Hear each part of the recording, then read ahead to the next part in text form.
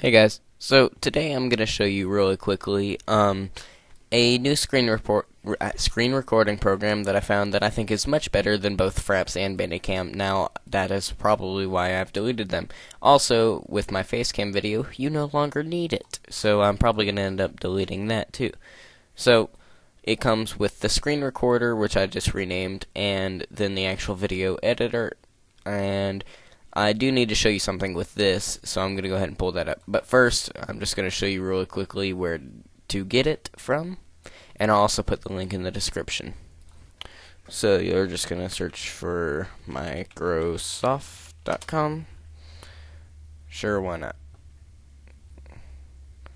It'll pull up the home page. It'll take forever, and then we're going to search for what's it called? Microsoft expression encoder 4.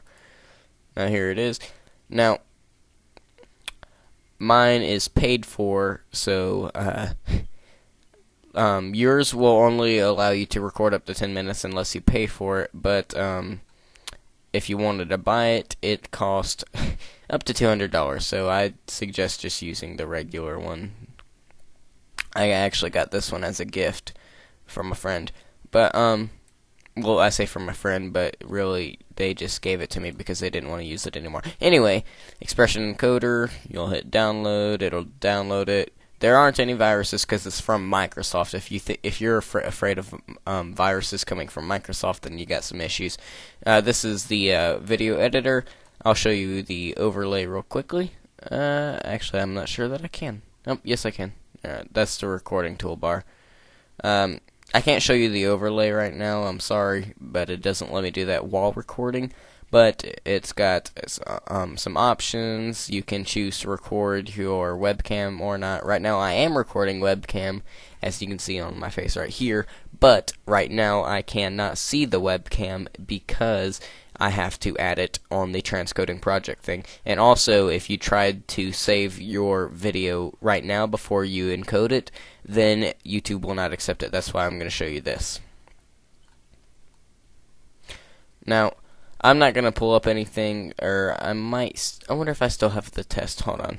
Let me see if I still have test. Here we go. Alright, so now, whether or not it accepts this now that I've deleted it, we will find out, but I'm going to try to import it anyway. Um, I'm going to skip ahead into a point where I can show you. Alright, so now we have the actual screen capture. It's just a test that I did earlier. Um, it's, let me see how, it's literally like 25 seconds long. But anyway, now you're going to want to set it to Windows Media. You're that way it doesn't um, that way YouTube can accept it, and you can also edit it using um, another program if you feel if you feel that happy-go-lucky that you want to.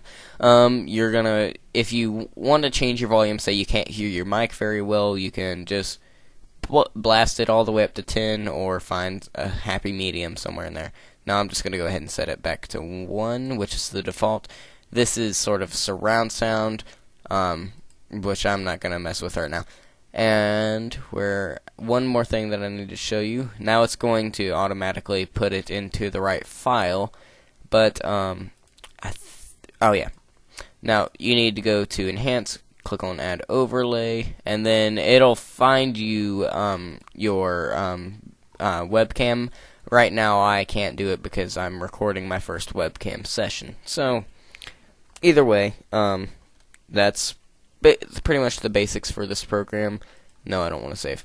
And if you enjoyed, a rating would be much appreciated. Subscribing, commenting, even liking the video, favoriting it, anything like that, um, lets me know that you guys want more of a program, as I've said before. So, um, thanks for watching, and I'll see you guys next time. Bye.